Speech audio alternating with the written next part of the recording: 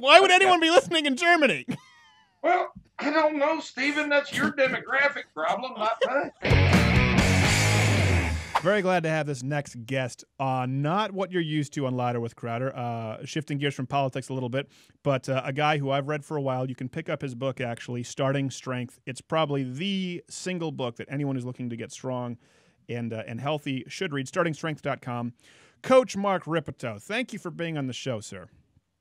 Oh gosh, Steven, appreciate it, man. Thank you for having me on. And uh, What's that sigh for right off the bat? You don't sound happy to be here. oh, I, I am happy to be here. Of course, I'm happy to be here. Uh, I mean, we're fellow travelers, right? Right. Mean, I'm in strength. You're into Planet Fitness. I've got a barbell gym. You go to Planet Fitness. I know. I I tell you what, I didn't know it was as bad as it was until I went. They don't have a squat rack. No, no, no. Steven, look. Planet Fitness is not about fitness. That's just part of the name. They're a sales organization, and uh, they're a very effective sales organization.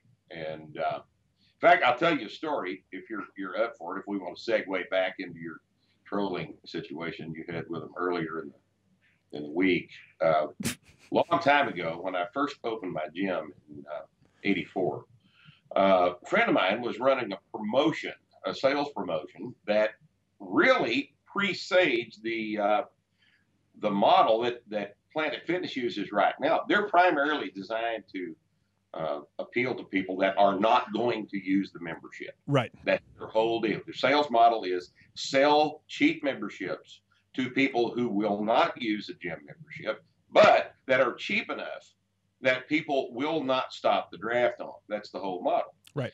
And uh, we had a, a deal. It was a drawing kind of a lead box based promotion back a long time ago that said that you want a free membership to the Wichita Falls Athletic Club uh, as a consolation prize, and somebody's going to win a vacation to Hawaii. Uh, all you have to do to claim this free membership to the gym is to come in and pay the maintenance fees of $96, Right. which was something like $53 a year. No, 46 or I can't do the math. But uh, it was $96 for two years worth, and you had a two year membership for 96 bucks. Now, people that are regular gym members don't put their name in lead boxes anyway. So the thing generated quite a bit of cash up front, and it generated a, a grand total of about five people that use that membership for the next two years. Wow. Out of the hundreds of people that signed up for this thing, five of them. I'll tell you what, though, I've been a, a member of some of those gyms that aren't quite Planet Fitness, but they have you know a few squat racks, and their goal is to get as many to sign up with cheap rates. And sometimes you do join up, and you know how to use it properly, and you're the only person in the gym, and it's great. Uh, there was a gym actually in Texas that I went to, which actually funny that you talk about it, and that's why I wanted to bring you on too. A lot of people don't realize this. I mean, you're more libertarian. I, I'm libertarian conservative. What bothers me about the fitness industry is the scamming. Uh, I mean, for example, I have my wife right now, and she cannot find a trainer who will get her doing the right things, No, It- no, and won't listen to me. Doesn't. What, what was that? I hear you muttering uh, angrily. it's a it's a problem within this industry. This is a this is this industry is is such that you walk in to a fitness industry gym and the kid's got a shirt on that says trainer. Right. Right. How do you know? How does a lay person know the difference between him and me? I Well, he does, by your sweet pecs. and there's not any way to tell. Oh, I, Oh, jeez. Don't do that again. I, I, there's not any, any way for a lay person to tell, and it's a it's a problem. It really is. Yeah, well, and that being said, uh, my first gym ever, I've talked about this on air, was Energy Cardio. It was the only gym around Montreal where I was on the South Shore that would allow my parents to sign off. I was 13. I was a fat little kid, and it was the only gym that would allow my parents to sign off on uh, me going without them being present. And uh, they didn't have a squat rack. They had all the other free weights. So their dumbbells did go up to, to their credit to 110 pounds. So um, I was allowed to do deadlifts, and I did those. I wasn't really able to squat for the first few years, which obviously you're a big proponent of that. But um, I remember that, and it wasn't the best gym, but it was better than nothing. In our school, in Canadian schools, there were there were no athletic programs. We didn't have any serious free weights, so um, wasn't like American kids have it. And uh, that started me on my journey. And then the the really serious games came. Actually, it wasn't your program, but very similar. Bill Starr's uh, five times five, and uh, you know it changed changed my life. I think a lot of people out there don't realize. We talked about this with Brett McKay. The strenuous life, challenging yourself every day to better yourself as a man, as a woman, as a person, is very important. And that's where you talk about progressive overloading with training is, is a great example of that. If you do it, you'll get better and you'll you'll become stronger. Uh, I think it's very important to for any human being to know where their limits are. Yes. Uh, because if you don't know where the limits are, then you have no idea what you can, in fact, do. Mm-hmm. And the only way to find, to know where your limits are is to exceed them occasionally. Right. And uh, it takes a lot of effort. It takes a lot, most people aren't willing to, to do it. No, and it's a lot easier. Like you talk about the fitness industry. You know, my wife has never done a squat. And the fact is, I'll tell you this this is a true story. Just happened yesterday. She went in with a personal trainer. I handed him I handed them your book. I said, I want her doing this. I'm paying for a glorified babysitter. She won't listen to me. And they, they never do any of it. But well, they, there's, a, there's a saying in the in, in amongst these strength coaches, you you you can't coach uh, your wife. No. Okay. Well, that's a pretty simple thing. You, you cannot. You, you, it, that doesn't work. It, it just doesn't work. Well, I will tell you this. Uh, so that happened, and they had her doing everything except squatting. We have to go to the break, so I'll finish this and that. Let you take the reins when we come back. But she's tall, she's six foot, and she's slim and she's gorgeous. She modeled for a long time. That's nature.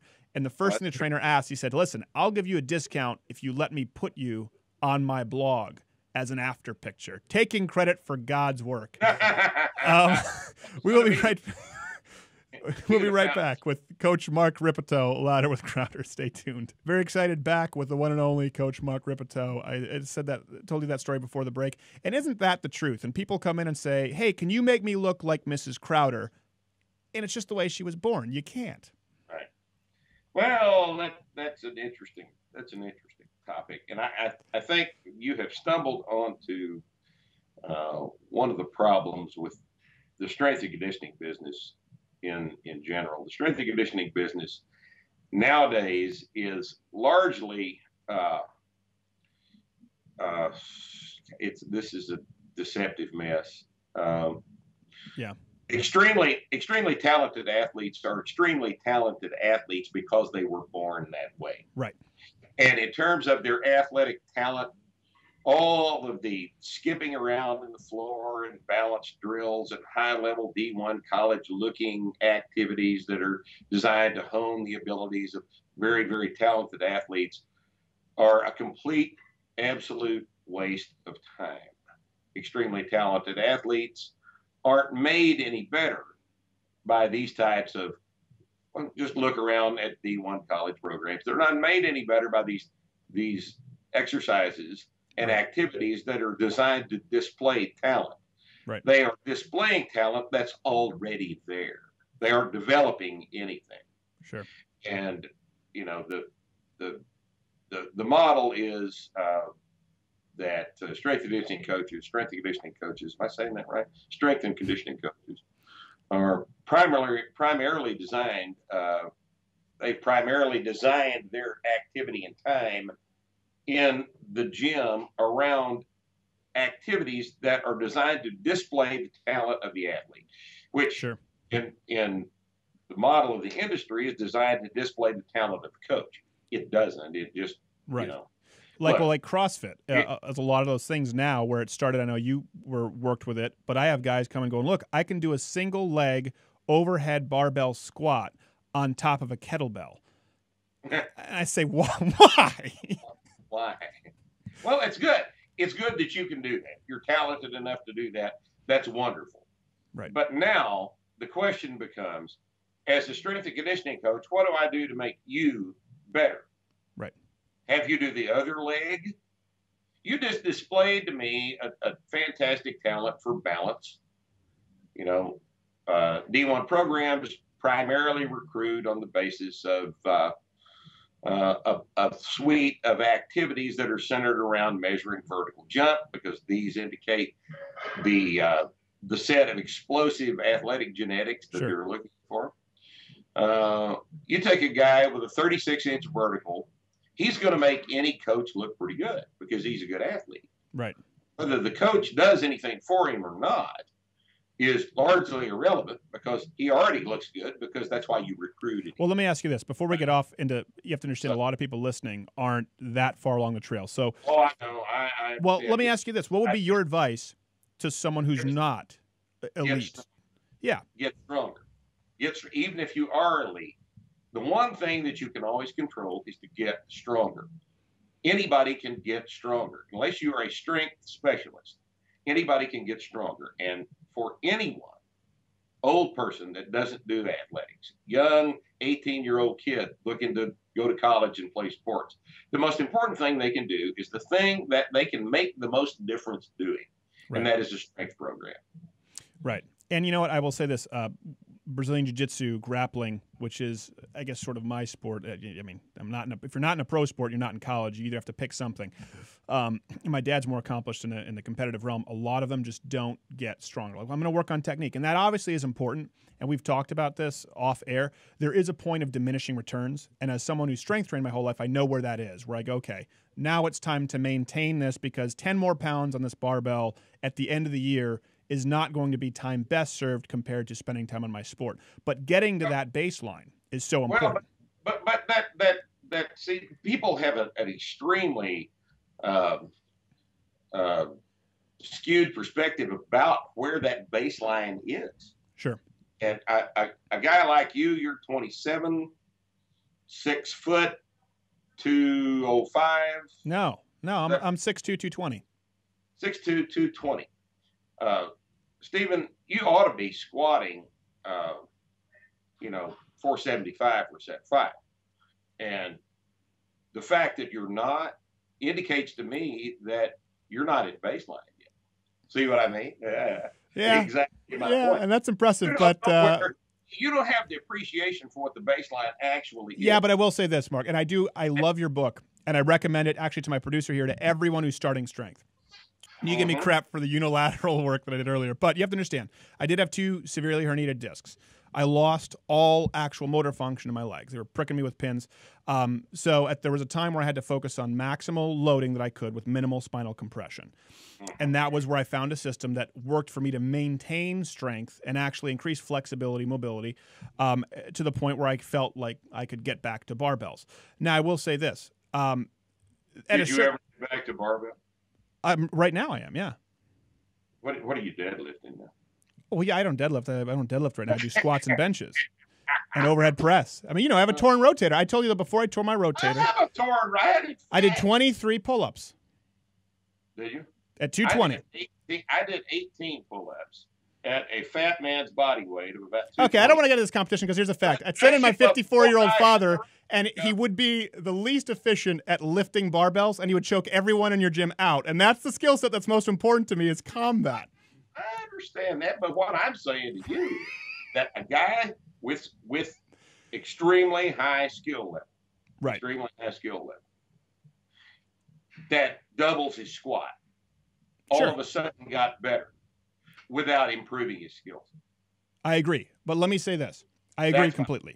My, my whole point. Right? I agree completely. But if you look at like heavyweight champions right now, like Buchecha, people like that, um, there is a point, and I don't know that you've ever tried to gain strength while doing grappling or wrestling six, seven sessions a week. It is very, very difficult to do. It's very catabolic. It's very hard. If I do grappling, even when I tone down the, the strength training to three times a week, um, it is very hard for me to get above 205. So, well, what I'm suggesting is that it might be to your advantage to maybe get stronger, which takes twice a week in that sure. context. Work those two strength training sessions in so that your strength would progress and that total benefit uh, obtained by doing that might very well make up for the loss of time on the mat. Oh, and that's what I'm doing right now because I can't spend time on the mat. If I, uh, to give you an idea, that's a great example with your program. It is, um, it's obviously, you know, there's so, only so much recovery you have. So when I Mhm. was doing your program and lifting pretty heavy right now, uh, and just did some drilling and mitt work, was incredibly sore. It was very difficult to recover from both activities, and that's why I've put that on hold because of the injuries. Um, but I do, I advocate your program or something similar, generally your program exactly for everyone I know who's starting lifting. We're actually getting this gentleman here who's we won't bring him in, but my producer Jared, who is uh, 145 pounds and needs to start lifting heavy. But I do want to get into the sort of the macro issue here. I'm writing a column right now, and you can tell me if you agree or disagree. I believe that we've reached a point in the Planet Fitness thing. It wasn't about the transgender deal or the cross dressing.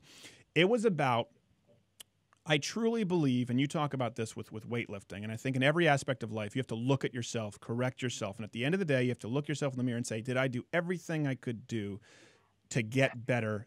Have I done everything I can to prepare for whatever your job may be? If so, yes, let's get to work. But now, if I were raised in modern, politically correct, liberal America, I believe I would be fat, weak, and feel good about myself. Sure. Bec- because we've gotten to a point, and I will say this flat out liberalism creates fat, weak, young men who feel good about being, not just, I'm not talking about physically, in character. And if you look at people like Roosevelt and Abraham Lincoln, that's, I use this term, the strenuous life. They talked about every day pushing yourself a little bit. Do you have a lot of people who come in or young men who just don't have that sensibility of, hey, this is going to be hard and that's what's beautiful in it? I don't know that uh, most people that start this program think in those terms. Okay. I think that uh, they they come in understanding that this is what they need, but they haven't they haven't couched it in terms of uh, of um, their uh, place on the political spectrum. Uh, you and I can be philosophical about this, but uh, and and we do, but uh, because we've got time to do that. But a kid that's you know working full time at Sonic Drive-In, he's 19 years old, he's underweight, he knows he needs to be bigger. He doesn't think about it in those terms. He just knows that everything he's tried before hasn't worked, and he knows that he's heard that what we can do can help him, so he comes in. Uh, but stepping back from the uh, uh, from the immediate nature of such a thing, uh, I, I agree with your bigger point. I agree with your point that uh, the pressure now is is to be accepting of complacency Sure. because complacency is easier, and complacency is the kind of thing that uh, enables people to feel good about themselves when somebody else tells them that that's really all you need to do. Why Right. push hard?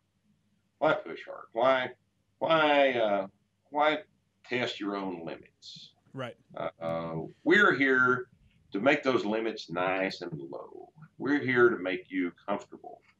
And comfort is the most important thing you can be and, and satisfied with yourself and high self esteem and all that other stuff.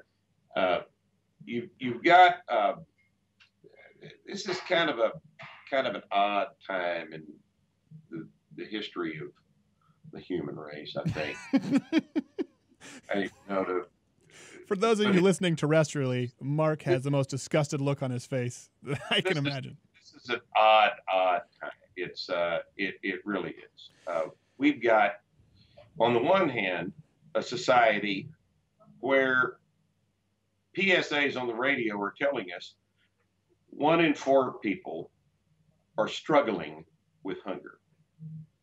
Those of you listening on terrestrial radio have heard this PSA Sure. on this station uh, today.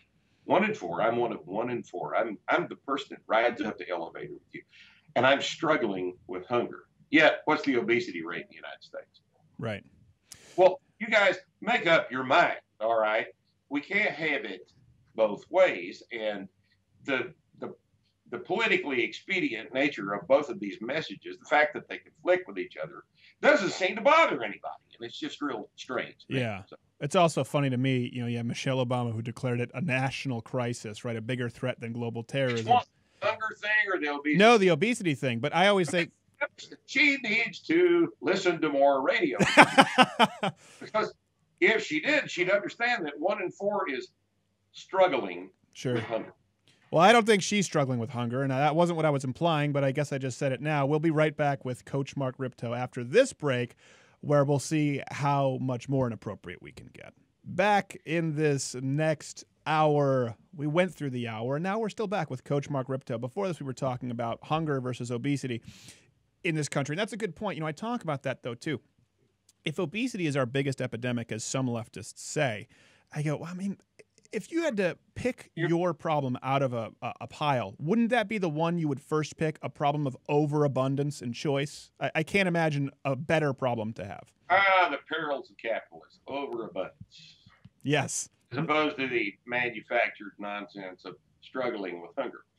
Um, right. This is, uh, as I said, this is an interesting. This is an interesting time in the history of the human race. We've got. Uh, a, a, a giant dichotomy, and I know this is what bothers leftists. We have a huge segment of the world's population that don't get enough to eat. Right. And then again, here we are in the United States where you can walk into a grocery store, you can walk into Walmart and buy pre-made pancakes. Wait, the pancakes are already made, or do you mean the mix? I can understand that the dichotomy bothers people, okay? But my position is that the dichotomy is not my problem. The dichotomy is the problem of the third world who refuses to embrace the idea that private property and free market capitalism provides for pre-made pancakes. okay?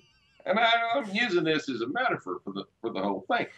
But uh, I don't know if you really want to get me started. No, I don't think I do. I don't we think I do amount of time here, and I'm I know. You know talk well, about this for quite a while. No, I I agree with you. Well, I mean, listen, they don't have the problem of obesity. You know, try getting some Zambian famine victims' head around it. They won't even be able to comprehend that your problem is you have too much to eat. Try to find a dose of uh, anorexia nervosa in Zambia. I look look for it. Hey, I also don't you think know. you have a lot of bodybuilders oiled and tanned bitching about their calves. So goes probably both. Not, probably not Zambia. No. no, probably not the body dysmorphia on either side. So we get back to, you know, you talk about getting stronger. Let me ask you this. Okay. To go back to strength training, do, how do you handle it? I've gotten to a point in my life where I am just so tired with the BS, and I feel like it's everywhere, and it's no more prevalent than in the supplement industry and the fitness industry. Planet Fitness is an example, but it's, I mean, literally, I cannot find one decent personal trainer to to whom I can take my wife, and we are just littered. If you're looking, if you're looking at Planet Fitness for a decent personal trainer, you seem to have some serious misconceptions about this. No, not Planet Fitness. Look, like I'm telling, like like I told, the the vast majority, Planet Fitness is on the extreme end right. of this continuum. You've got uh, the standard industry model gyms, which are basically sales organizations. And then you've got on the far other end of the spectrum, places like Wichita Falls Athletic Club out the door here, that has a sign on the door that says uh, Wichita Falls Athletic Club is a private strength training facility, and uh, membership is by invitation only. Uh, we turn people away here that uh, don't sufficient uh, sufficiently appreciate what it is we're trying to do. Okay, well, let me real quick because people well, are going to attack you. In the middle is, uh, you know, there is the the functional training expression of the of the business that's come along. CrossFit's part of that. Uh, there are right in the middle is is really where more trainers ought to be, and they're not. Right. Well, in a position to serve a larger percentage of the population. Sure. Now, let me ask you this because people will say you turn people away. See, that's why Planet Fitness exists. You just want to judge fat people. Now, I know that you've trained, you have some old ladies who train at your gym. It's not about where you are, it's about how serious you are with self improvement, right. right? Yes. It's, it's about uh, whether you came into the gym for the fact that we have a logical arithmetical model for making you stronger. Start where you are now, go up a little bit every day, right? Or if you came in for pizza night, you know, if you came in for pizza night, yeah, we're going to probably draw a conclusion based on that. Based on that, is that judgment? Well, I guess you know whatever you want. That's just semantics, okay? Yeah. But uh, no, my 91 year old gal that, that trains in here uh, will be in here tomorrow about noon. In fact, Oh. is capable of doing an unassisted body weight squat below parallel. Wow, good for her. And that's been a long process, but we've gotten her to the point where she hasn't fallen down uh, in a year. She doesn't use her walker anymore. That's been in her closet for about 10 months. And uh, the same process that we use for athletes, we use for her. Right. We started at a different place. Sure. And it's funny, you know, I see that and people see the Planet Fitness thing and say no judgment because we don't want to be mean. I hear that story that you just tell me. And I think, how mean are you, other personal trainers, to rob this woman of that experience? Of the opportunity Yeah. to put her walker in the closet at the age of 91.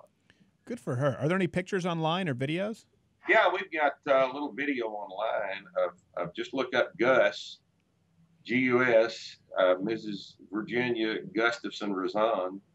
Uh, look up Gus, WFAC, and there'll be a nice little video that comes up. 91 years old. Geez, well, that just goes to show people listening. Follow the same process that you, Steven Crowder, need to be doing. I am doing it right now. Oh, I, look, all right, let me ask you a question then. Uh, I've offered to come coach you, and you've said, oh, you've never offered to come coach me. Okay. No, No, hold on a second. Don't make me mute your mic. I already know how to do it. Don't make me mute your microphone because you just asked me if I did deadlifts on air. When you were the one who specified, you said, "Oh, you got a torn rotator cuff? Yeah, good mornings are good. You should do those. You don't need to be deadlifting or doing power No, I didn't say anything about good morning. I, look, I had this rot- this shoulder rotator cuff repair, and you know what I did? Three weeks post op, I deadlifted 315 because deadlifts don't bother a torn rotator. Well, they do mine. Well, maybe that's not what you got. Well, maybe it's not what I've got. Diagnosis. But everyone listening, I'm following his protocol. I called him with questions. He said, "Yeah, that actually seems good if you can do it and it's not irritating your back. Those are good replacements." And then he comes on here and tries to throw me under the bus. So I tell you what, I will say this. Everything I've told you, Steve. Well, you certainly didn't offer to come out and train me. You were asking me about the Cherry Festival. Hey, I, right now, I'm telling you on air, I'll come train you. Okay. right? Okay. right? You come out here, I will be glad to and you can train my wife. Yeah. I, And you can I start with her. Okay. I start with her. Put her up on starting strength and say, "Look, look at my handiwork." Oh God. Yeah, she's a very uh, she's a very she's way out of my league. Okay. Um there was something else I was going to ask you. I don't even remember what it was now that we got off the the beaten uh, off the beaten path. I was going to say this. Okay, you do talk, do talk about strength training. If I may uh, uh, sort of parlay that into something, I don't know if you've ever been on the grappling mats, but I would invite you to go on there once No, because everyone should get their ass kicked once. It's good for your soul. I've gotten my ass kicked way more than once. It's good to realize how a Marcelo Garcia looking character who you would see in the gym and see as weak can feel so strong and absolutely end your life at any time they want to. Just to realize that strength is important, but it does not make a complete No, human. no. I, I'll tell you what is even more important than strength: youth. I don't know. I've guys like you. Enjoy it while you've got it. Once you accumulate all the injuries I've got, you know, at one time uh, I was about you know halfway tough. Now I'm just old. Yeah. I tell you what though, we've had guys who came in who were halfway tough. We've had division. We've had pro football players come in and um, just get their just just the life choked out of them. There's nothing they Oh, can do about it. Not everybody can do everybody else's sport. You This know? is true. Thank God I don't have to deal with that. I just deal with the thing that makes everybody's sport better, and that's getting strong. That's getting strong. That is absolutely true. And on that, we completely agree. And it has to be done with certainly heavy weights for people who are starting with measurable loading uh, increase. This is the process. Really, I Start- thought You are now add five pounds of workout. Go up. That's the process. I thought I could just go CrossFit and go ape crap crazy with a barbell and train for randomness. What you're blowing my mind. Do things at, in, in random. Now that doesn't seem to work. In other words, you can't learn to play the piano by a combination of attempting to play the saxophone, the guitar, and digging a hole in the backyard. So, Well, what age do you cross over into the nonsensical? I'm kidding. what about 50? okay. All right. Well, we have to we have to get going, and uh, maybe we'll maybe we'll keep you on for another online segment. But for terrestrial, we must say goodbye. Where can people best find you, Mark? startingstrength.com is my website. I'm there way too much of the day. So feel Starting- free to post. Feel free to, to contact me through that website. Our books and uh, DVD are for sale on that website. We're also available on Amazon.com. Our German translation is available on Amazon.de. Aha. You don't need to say .com. You're gonna throw the HTTP in there. It's the D. uh, We're at the, the the German translation's at Amazon.de. If they're in Yeah, Germany, I I'm sure it that. reroutes them. Okay. Why would anyone be listening in Germany? Well, I don't know, Steven. That's your demographic problem, not mine. okay. Once you get big enough, maybe.